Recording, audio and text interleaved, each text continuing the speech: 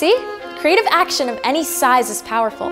Whether it simply shifts a conversation, like Wesley did by removing the stigma of mental health, or sparks a change in a law or policy. This is Dan Eldon, Kitengela. My uncle Dan Eldon used his photography to highlight situations he cared about, and it did change policy. He was a champion of creative action long before it had a name. My uncle Dan was just 21 when he was working as a photojournalist in Somalia, trying to raise awareness about the desperate famine there that affected hundreds of thousands of people. We're now on the outskirts of southern Mogadishu. His photography led to a United States response called Operation Restore Hope.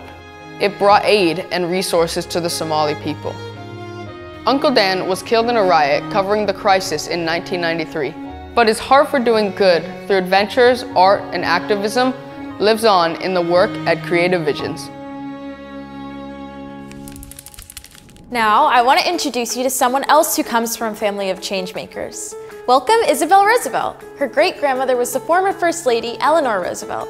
Hey Isabel, thank you for joining. Hi, thank you for having me.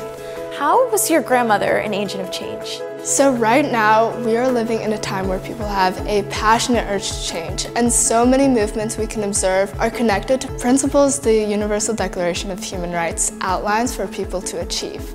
My great-grandmother was the first chairperson of the Commission of Human Rights in 1948 while the Declaration was being drafted and then adopted. Wow, what's in the Declaration?